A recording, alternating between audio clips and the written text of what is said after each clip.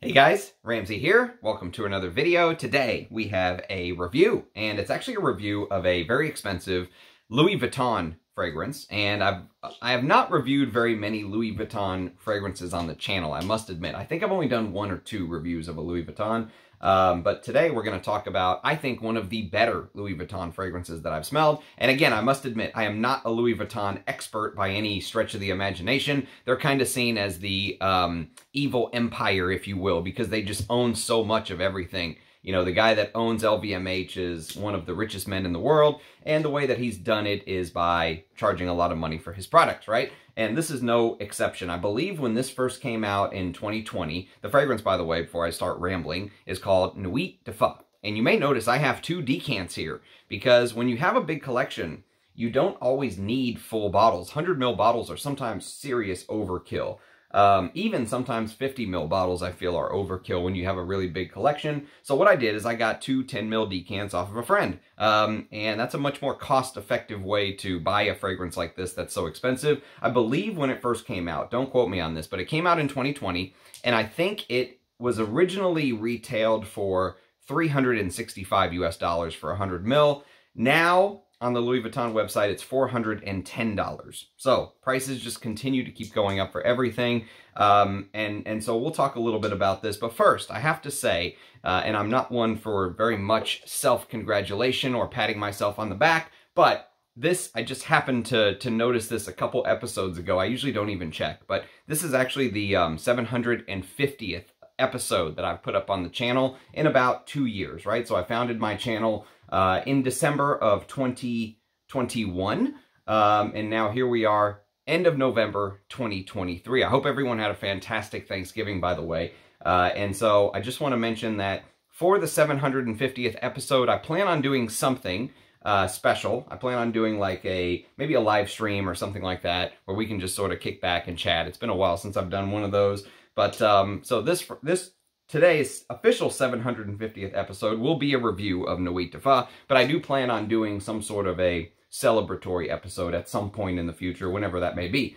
So uh, let's talk a little bit about this fragrance created by Jacques Cavallier. Um, and let me read you the little blurb according to the Louis Vuitton website, and then we'll talk a little bit about my two cents. Now, again, this is a fragrance that I don't have a full bottle of, so uh, whenever you're kind of dealing with an independent channel. Sometimes you're just not always going to get to see a full bottle, but I have given this enough wearings where I feel comfortable talking about it. This is actually the fourth time I've worn this as my scent of the day today, uh, and, and you can see that I've put a pretty good dent inside of this little decant. This comes from a reputable seller, a friend on eBay. Um, I've talked about him on the channel before.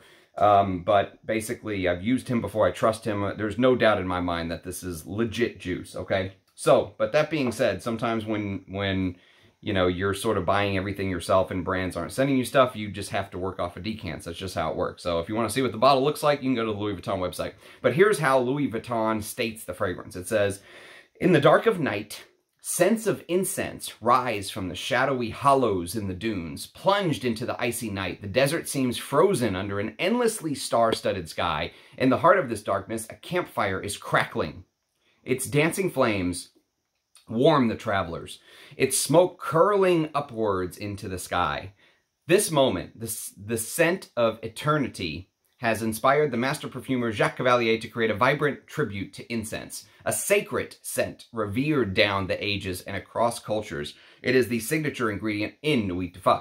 With three excuse me, exceptional essences in its trail, softened by an exclusive infusion of natural leather and glorified by a powerful musk accord, the incense molds the, the mystical scrolls of oud wood into a perfume that resonates with the history of the world. Okay, so there you go. Louis Vuitton does do some sort of refill deal. I guess if you use all your fragrance, you can refill it for a lower amount, but I, I, that stuff never appealed to me. I don't really care about that at all. Um, and I think it's still relatively expensive. I, I I'm pretty sure it's over 200 bucks if you want to refill it, maybe 250 or something. Don't don't quote me on that.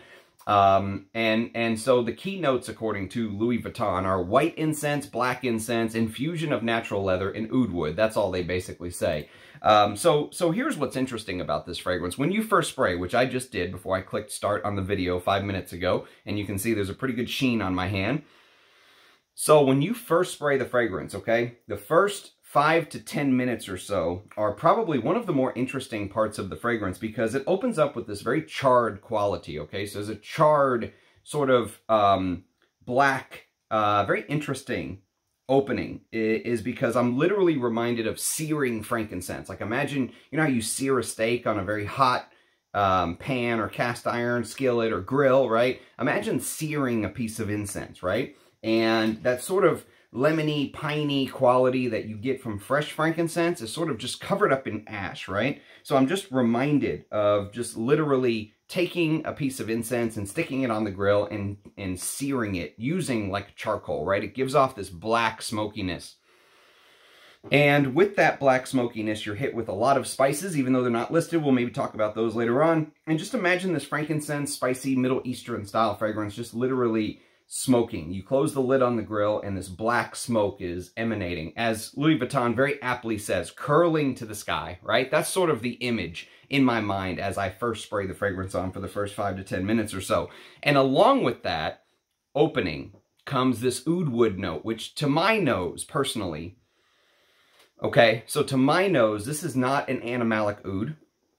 I do not think that this is like a blue cheese, fertilizer chips, you know, barnyard, poopy oud, whatever you want to call it. Fecal, I don't think it's any of those things. In fact, I will say this, that to my nose, this is an oud accord. Now, I know Louis Vuitton, I heard some people, like I heard Sebastian when he talked about Ombre Nomade. I don't know if it's true for all of their fragrances or what, but I did hear some people say that Louis Vuitton claims to use real oud. I'm not going to get into that debate with this perfume, um, but what I will say is that to my nose and my way of smelling these type of perfumes, this smells like an oud accord to me. There may be real oud in here. I'm not saying there is not real oud in Nuit de Feu or in Ombre Nomade, which I'll review Ombre Nomade very soon. But to my way of thinking, this reminds me of an oud accord, a Western oud accord, if you will. Think of the oud that Guerlain used in its last oud series, the one I hated, oud Cole and stuff like that especially in the beginning, I get this very, um, you know, westernized oud accord that when I smell it doesn't smell convincing, okay? Does not smell convincing, and in fact, it smells much lower on the quality than the price you're paying for the perfume, if that makes sense. I really feel like the oud accord that they're using smells very designer, and in my honest opinion, lower class than the $410 Louis Vuitton is demanding for 100 mils of this fragrance. I would expect an LV perfume to just have a better oud accord in there, if, if, if I'm being honest. However, that being said, the good news is that I like this fragrance because the oud accord is not a main part of the fragrance breakdown to me. I think it's there. You know, you do get a little bit of a slight animalic touch, but it's almost like one of those things where if you're not really paying attention, it flies right by because this fragrance is all about the different types of incense used. They say um, Somalian frankincense, incense, and then what is called a black incense accord, apparently. And so the fragrance really focuses on this smoky incense accord, and as it dries down, it really turns into a proper incense. So for example, you know, if you're familiar with real, just straight up and down incense fragrances like Incense Avignon, if you like wearing stuff like this, which I'll review this on the channel as well, I think this is one of the best just pure incense fragrances money can buy. If you like this, you will kind of like what this turns into. But what happens is they wrap the opening in something that is a little more exotic smelling, okay, because you get that charred aspect to the frankincense. They say black frankincense in the note listing on Parfumo, but there definitely is this ashy, burnt wood quality to the smokiness with along with that little oud note, which tends to kind of come in and leave the fragrance. And it feels like maybe it comes back later on, um, but the oud note is not impressive to me at all. In fact, it's probably one of the least impressive parts of Nuit de Feu to me. I feel like it could be done much better. Um, and I feel like uh, Jacques Cavallier has sort of made this accord where I feel like I've smelled it a couple times and he's just using it um, in the Nuit, in the Louis Vuitton Middle Eastern lines, if that makes sense. So for me, um, that's probably the most disappointing side of it, the, the oud accord. That being said, like I said, this is one of my favorite Louis Vuitton oud perfumes that I've smelled. And, um, you know, I actually like this fragrance. I am a fan of this fragrance, okay? So I don't want you to think I'm disparaging the fragrance in any uh, aspect, but I want to give you my honest one how I really feel as the fragrance progresses. Um, and for me, I really feel like that opening oud note just smells a little cheap, especially if you've smelled real ouds, if you've kind of smelled what Russian Adam and Ensar and Bortnikoff create. And I understand you cannot compare the two. The problem is once you sort of smell that side of things, it's very hard to then go back and not compare something like this, which is claiming they're using Assam oud or whatever they're using, using right? Um, it's hard not to go back and then compare, especially for this price point, because at this price point, that's where you can then say, you know what, I'll just take my money and why would I give it to the LVMH, what some people call the evil empire, right, that owns everything. I'm going to go to the smaller places, which use bigger percentages of ouds or whatever it may be, right? So that's always the debate with these type of fragrances. But again, that being said, I like this fragrance. I've enjoyed wearing it today as my scent of the day. And I want to highlight something on price that happened. Uh, today I was watching a live stream from Persolaise, which I hardly ever do, but it was an Amouage live stream with the new Fishman, Renaud Salmon, and, and he was mentioning these increases in, in the brands and in the um, pricing of perfume as time has gone on. And Persolaise actually said something that I think makes a lot of sense for me. Um, they were talking about Amouage reis reissuing crystal and gold collection. Um, and I'm not sure the price, but I think it's going to be pretty damn expensive. And I think they're only making 500 of each, if you will. Um, there are some comments on there where people say, hey, this feels like a money grab, blah, blah, blah, right? Um, and I'm not sure what the price will be, but I, I hear it's very, very expensive. Um, and so one thing that Persolaise said that really caught my attention, I think makes a lot of sense, is he said these brands, they really can't fall behind on pricing because if let's say brand A puts their pricing here and brand B is here, the consumer will think, well, then brand A is actually a quote unquote better fragrance. So brand B puts their prices here. And then there's this constant sort of, we want to be seen as exclusive. We want to be seen as luxury. But I think it's gotten so out of control that many of the people in the perfume market are turning away or looking for alternatives, right? They're going, I'm not going to give Louis Vuitton $410 for 100 mils of this, right? And that's where you start sort of having these type of conversations. So I just wanted to bring that up because I think the public in general is kind of getting to that point where they're just like, you know what, we're seeing all of this happen, but now we're just going to take our foot off of the gas pedal and watch. You know, we're not just going to keep throwing money dollar after dollar. And on top of that, the releases are going faster and faster and faster, right? So it's not like the old days where they would just release a fragrance every year or two, or and you know Chanel did uh, very famously went like 20 plus years between to their masculine releases from um, Chanel Pour Monsieur to Antaeus, right? And so now it seems like they're releasing, just constantly creating over and over and over again. So um, just something I thought I would mention because the price is very expensive here. And it makes a lot of sense when you think about that. So you really have to be sort of very shrewd and you have to sample a lot. You, um, you don't just want to watch a review and go give Louis Vuitton $410 for a fragrance like this. You really want to get into the details. So let's get into the details of the fragrance. So for me, that first five to 10 minutes, that is where that charred sort of, um, where the brand call, or the Parfumo calls it black frankincense, right?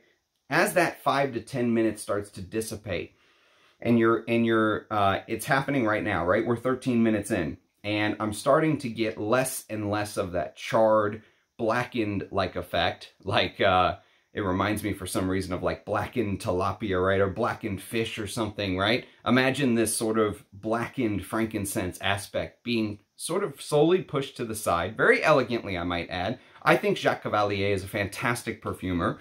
And what, as it disappears, what sort of comes into its place to fill the void, if you will, is this lemony, um, sort of uh, piney, and many of the things that you think about when you smell a frankincense that is fresh, right? So when the tree is injured and those frankincense tears form and they pluck and they harvest them off of the tree, when you smell that without it actually being smoked, it smells very fresh and very lemony and very piney and slightly smoky, right? You know, there are um, cypress aspects to it. There are green aspects. Some say medicinal aspects to it right? But that blackened, ashy frankincense starts to disappear, and in its place comes the fresher, lemony take on the incense, right? So the, the incense note um, sort of remains the star of the show all throughout the different phases. And that's what makes this one, an incense lovers, I would say, if you're an incense lover, you, you'll probably really like this fragrance um, because it stays true to that, but it does it in a way that is, I think, appealing to the mass market. It's doing it in the Middle Eastern style. And um, I want to be clear, there's still this sort of um, smokiness that stays with the fragrance. So even though we've gone to the lemony, fresher aspects of the incense, right, there's still this sort of um, smokiness that remains. There's still this, as they said, curvy wisps of incense. And that is very true. Uh, and it stays, even as that black and charred aspect gets pushed to the background, right? It starts to smell more like you are burning wood, right? So it starts to go from the blackened, charred aspect of the frankincense more to like you're almost burning a piece of wood. And if you actually go to the Louis Vuitton website, if you will, and just scroll through some of the pictures, what you'll see is you'll see, first of all, the bottle. They love showing off their bottle, and their bottles are pretty, I will admit. Um, this has sort of a greenish blue turquoise tint, if you will, to the bottle. I don't own any Louis Vuittons uh, fragrances myself. And then it sort of turns into this, if you, the next picture, if you will, looks like what they're trying to show is a piece of wood with the black infection on it. And, and, and then maybe a couple pieces of another type of wood that are um, more maybe sandalwood or cedar wood looking, right? They don't have the infected oud wood look. And they're both sort of giving off this smoke, right? And those two are sort of combined together with this beautiful sort of um, background, this, this uh, almost like you're looking at clouds that are um, highlighted by the sun, right? So the rays of the sun are reflecting off of the cloud and giving this beautiful pink sort of uh, tone in the background with the blue sky and the darker sky in the background, right? That's sort of the picture that they show. And that's actually a really good picture of what the fragrance turns into after its transition because uh, I've heard some people mention that they think this is a very linear fragrance. And I would agree with them if you get past that first transition. So the first 10 to 15 minutes or so, 5 to 15 minutes, depending on your skin. It seems like sometimes it goes a little faster, sometimes it lasts a little bit longer. But that first transition, which has basically happened now, we're 17 minutes in, and that very first transition has basically happened. And so it starts smelling more like you're smelling burning wood and cleaner frankincense. So yesterday, I'll tell you a story. Yesterday, I went to the Dallas Art Museum, which I haven't done for a long time, but I love that place. I remember going there as a kid, and I, I love art in general. I could just sit there and stare at art and just think about things, and I think it's a it's a great way to sort of stimulate the mind, right? Get out of your comfort zone, see different things, learn about different artists, stuff like that. And so one of the exhibits that they had yesterday, uh, and I think this is like one of the common, I don't think it was a special exhibit, just one of the normal exhibits that the Dallas Art Museum has is on Islamic art, okay? And so some of the things that they had, um, you know, reminded me of my childhood because, um, you know, because of the fact that, um, I remember growing up in a Middle Eastern household, if you will. My father is from Jordan. I was born in Jordan. And I remember being in family gatherings and stuff like that. And they would have these serving trays, right? And the serving trays looked like they were maybe made out of bronze or, you know, something like that, right? Well, in this history, this center for Islamic art, if you will, um, they had this one tray that almost looked like it was like blackened from being dirty and stuff like that. And they had another tray which almost looked like someone just cleaned it to a T, like it was just created, like no one ever used it, right? And you could really see sort of that bronze metal shining through, right? And so this frankincense here, what it turns into feels like it's it starts out as the first tray where it's just dirty. Maybe it was buried underground for decades, hundreds of years, who knows how long, right? The bronze is all dirty and disgusting and blackened and stuff like that. And the frankincense then turns into something that sort of gives off that covered in dirt, covered in ash sort of side of it. And it just becomes this very smooth, very smooth, very polished, like they polished that bronze tray, right? Very polished. And now once they polished it, you can see sort of the, um, insignia on it. You can see it's not just a bronze tray, it's a, it's a bronze tray that someone took time to engrave beautifully with whatever engraving you can imagine on there that they would put on in Arabic style art, right? Polished beauty, that's what the frankincense turns into, I would say, with this perfume to me. Um, And along with that sort of fresher, more polished incense is what Louis Vuitton calls a natural infusion of leather, okay? Now, this leather is very soft, very supple, not my type of leather. Like if you're thinking of the leather fragrances that I love, right? The 80s leathers, the Bel Amis and stuff like that. This is not that at all. This is just this very supple, soft, um, maybe you could almost consider it like calf leather. Um, you know, this um, leather where you almost have to focus to smell it, right? It is, um, it's kind of one of those things where you, um, you, when you focus, you will smell it. But if you just kind of let your brain go, the leather just hangs out in the background. It never threatens the incense to take the lead role. The leather allows the incense to stay right up front in its different iterations, right?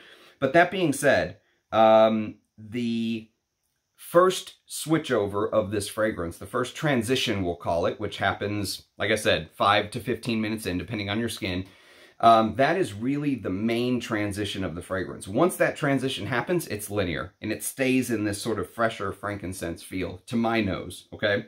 So, um, so the leather is very soft and supple, and the time that the leather actually enters the fragrance, the, the time that the leather really joins the party, to me, to my nose, is right around the time that the fragrance shifts from that first iteration to the second iteration of the fragrance, okay? So, um, as if you like what the fragrance turns into after the first 15 minutes or so, you'll like it for the rest of the fragrance because it really stays like that to my nose for the whole six to eight hours or however long it's going to be, right? It pretty much um, sits there for the rest of the life of the perfume, okay?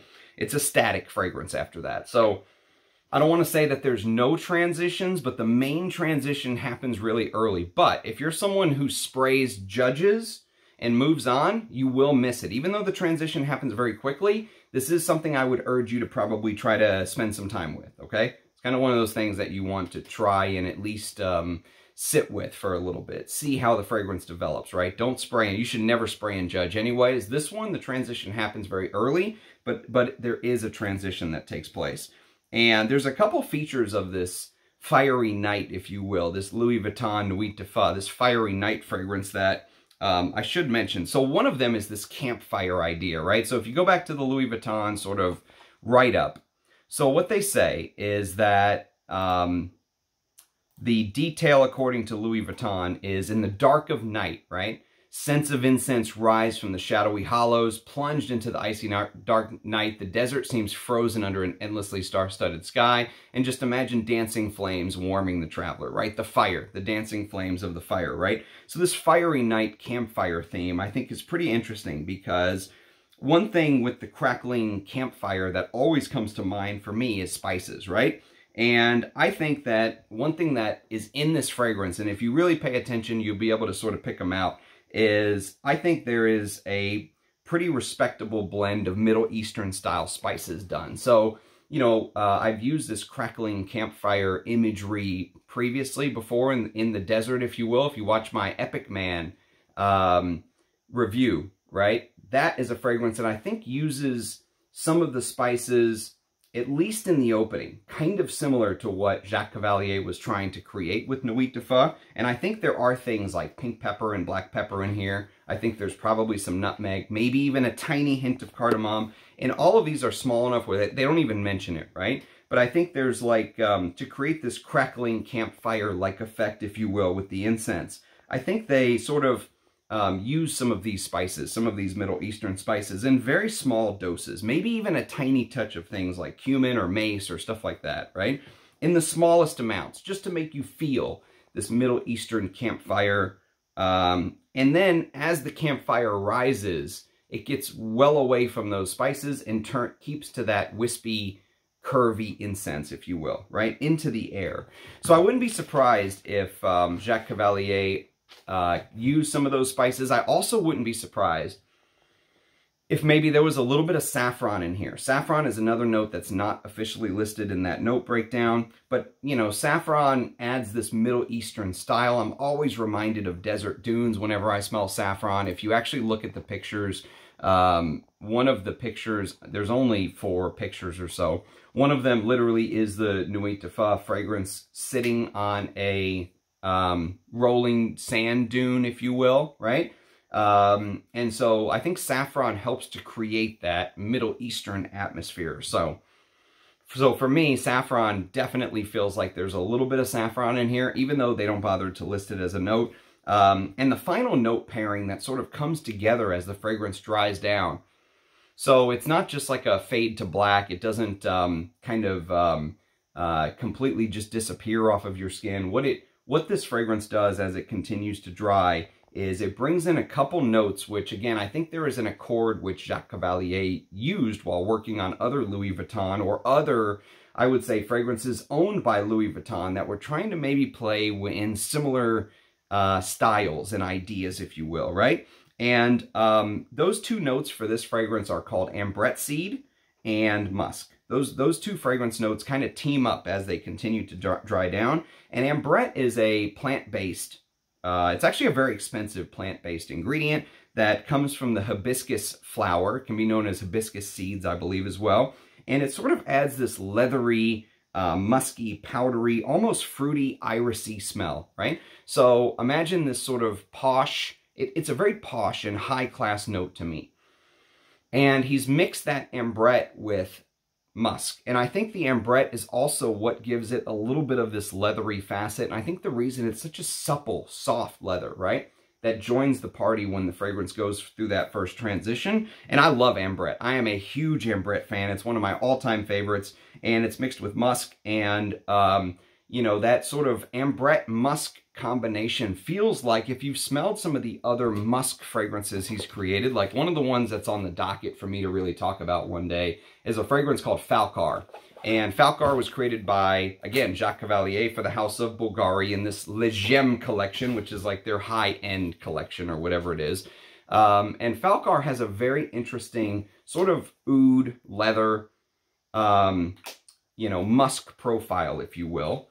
And the musk profile in here reminds me a lot of the musk profile in what you get in something like Nuit de Feu. So, um, you know, this is another probably overpriced uh, fragrance from one of the Louis Vuitton fragrance houses that they own, one of the many Louis Vuitton houses they own, hence the whole evil, evil empire moniker. Um, but with that being said, I think the musk sort of um, just adds a little bit of fuzziness. The ambrette maybe adds a little bit of creaminess. Maybe you could even stretch it and say just a touch of booziness, just a touch. Um, but really the star of the show is the incense. The, you know, what starts out as that black incense, what moves into the Somalian frankincense slash incense, whatever you want to call it. And it does turn lemony and piney and fresher as time goes on. So it kind of you know, works in reverse. Whereas with a normal incense, it starts out lemony and piney, and then you burn it and it turns smokier and ashier. This one sort of goes the opposite way. Um, but as far as the picture, the creation, the sort of way Jacques Cavallier blended everything together, do I like it? Yes. Do I think it's overpriced? Oh, hell yes. Um, I think this is extremely overpriced. Um, would I wear it? Yes, I enjoy wearing it. Um, but I would I buy a bottle? No, absolutely not. I mean, this these two 10 mils are more than enough for me right now.